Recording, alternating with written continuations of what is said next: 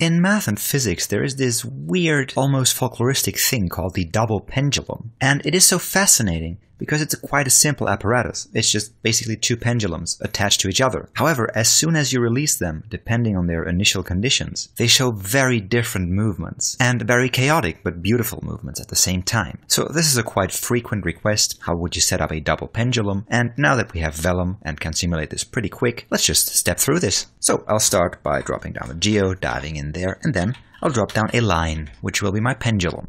Let's display the line's points. And for a double pendulum, we need three points. So basically we have those two line segments here, and each of those is a single pendulum. Let's slant its direction a bit so we have an initial condition where it can fall downwards here. And then also let's move this point here with the point number 2. So our second pendulum will get another initial condition as well. Let's use a transform for that. Just move point 2 and let's maybe just dial in something like this. So let's highlight it and we can see nothing is happening there. That's because we didn't specify a type. Let's set this to point, and now we moved our point with the point number 2 accordingly. And for the beginning, let's get rid of that z movement here, just have them in a straight line. So this is going to result in a 2D motion. Next, let's start setting up this whole thing in Vellum, using Vellum constraints. And the only constraint we want to have here is a length constraint, a distance constraint, which is a standard thing that's already set up in the Vellum constraints. However, we want to pin our double pendulum on its first point, with the point number 0. So let's take care of that by first dropping down a Vellum solver, attaching it directly to our Vellum constraints here, and then moving this down a bit, and in between adding a point wrangle, and we'll wire our geometry through this here, set the point wrangles group to only affect the point with the point number 0, this one here, and set this point's mass to 0.0. Now back to the Vellum constraint. Except for the point 0, I want to have my other points to have a mass and a thickness as well. So now when we highlight the Vellum solver and hit play, we can see this chaotic pendulum behavior.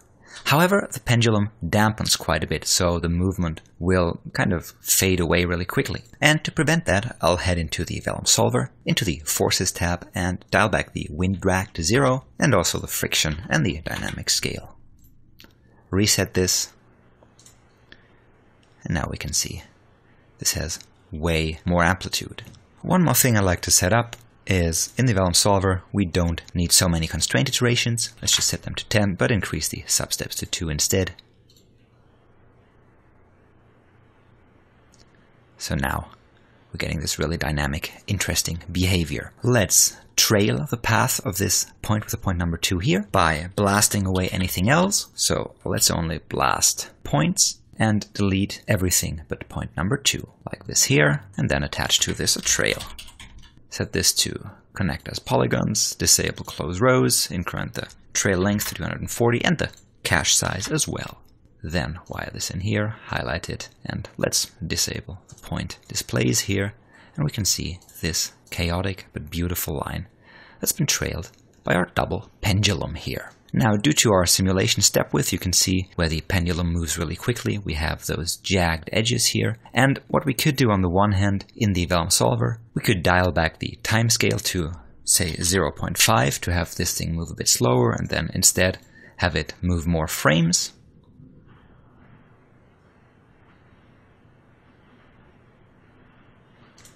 But still, there are some jagged edges, or we could just cheat a bit and drop down a resample node here. Set its length to 0.02, let's try that, and treat the polygon as a subdivision curve. So now we are getting those smoothed out curves here. And yeah, 0.02 might be a bit too excessive, so let's set it to 0.05 like this. Nah, maybe 0.02 was good.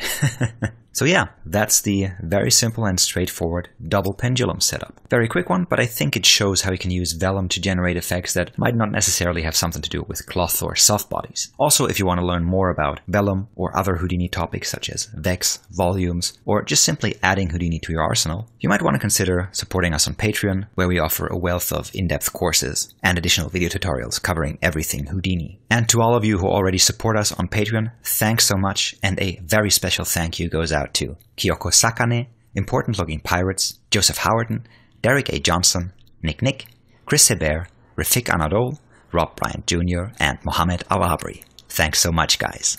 So, as always, see you next time, and it's cheers and goodbye.